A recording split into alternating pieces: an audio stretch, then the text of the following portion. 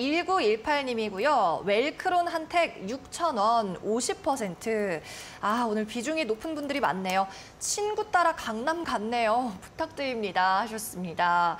자, 친구가 같이 가자고 해서 샀다는 말씀 같은데, 자, 이렇게나 많이 담으셨네요. 어떻게 대응하면 좋을까요? 어, 웰크론 한때 사실 내용으로만 봤을 때는 저는 굉장히 좋은 기업이라고 음. 생각하거든요. 폐배터리 관련 이슈가 있는 기업입니다. 네, 사실 폐배터리 주기 같은 경우에는 배터리 보통 수명 주기가 8년에서 10년 단위입니다. 그러니까 8년에서 10년 정도가 지나야지 이제 폐배터리 산업도 역시나 꽃을 피울 수 있다는 얘기죠. 그래서 너무나 좀 폐배터리 산업은 아직까지는 좀 이른감이 없잖아 있기 때문에 그래서 오히려 저는 성장 산업 측면에서는 굉장히 좀 긍정적으로 보고 있는 그런 이제 산업이라고 보고 있고요.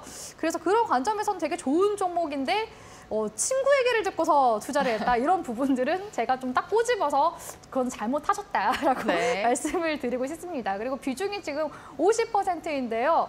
어, 어떠한 기준에서 50%로 비중 들어간 건지 모르겠는데 정말 친구 따라서 강남 가지 않으려면 비중이라도 우리가 좀 잘 대응해 나가셨으면 좋겠다 이렇게 말씀드리고 싶습니다. 지금 시점에서 50% 비중으로 손실률 꽤나 크실 텐데요. 단기 관점에서는 주가가 4,000원대 초반대까지 좀 더 밀렸다 갈 수 있거든요. 그래서 중장기적으로는 이 산업이 개화될 때까지 계속 들고 간다 한다면은 좋은 투자용 종목이 될 수가 있는데 우리가 매매 포지션 잡을 때 내가 인베스터가 될 건지 아니면 트레이더가 될 건지 이런 부분들을 고민해 나, 고민해서 투자를 하시는 게 좋습니다. 그래서 내가 투자 관점으로 진행하셨다면 그대로 산업적인 측면에서 성장 산업이니까 쭉 밀고 가시고요. 단기적인 관점에서는 주가가 추가적으로 좀 늘렸다 갈 수 있다는 점 고려하시면서 종목 흐름 보시길 바라겠습니다.